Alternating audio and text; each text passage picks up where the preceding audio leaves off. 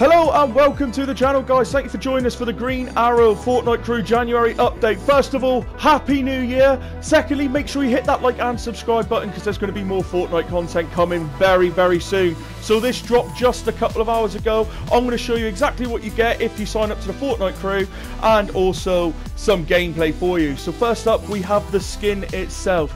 And to be fair, it's really good, especially in the shadows. You can't really see it, so it's definitely a good one to have. There we have the back bling of the tactical quiver and also the harvesting tool of the boxing glove arrow. Now what I'm going to do, I'm going to jump into a quick game. This is only a short video just to show you what it's all about. I hope you guys enjoy it. So going to land into Weeping Woods. Can we get a Battle Royale victory in this one?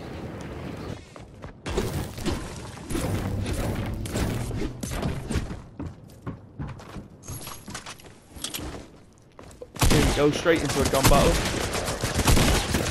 Whew, one more would have had me there.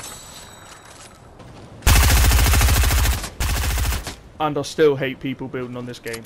Partly because I still can't build. I try so badly to build. This guy's going to finish me off here. Oh, no, no. Oh, what a way to get in a limb. Oh, what's he doing? Why are you just sitting there, mate? Get gone feels like I've been chasing this guy for ages. He just will not die. He's playing the camp tactic, hide in any corner possible. It must be working for him. Come on. Finally. Here we go, last two. I just can't find this guy. Oh, no, no. Ah! I'll take second. That was a good game. Good game.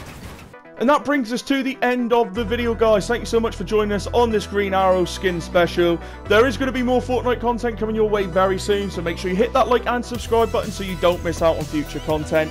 Make sure to stick around to the end on the end credits you can follow the link for more Fortnite content, including my Black Panther tribute highly liked. I do hope you do enjoy all of this content I put out for you. Once again, Happy New Year, and as always, keep gaming King style. Good night.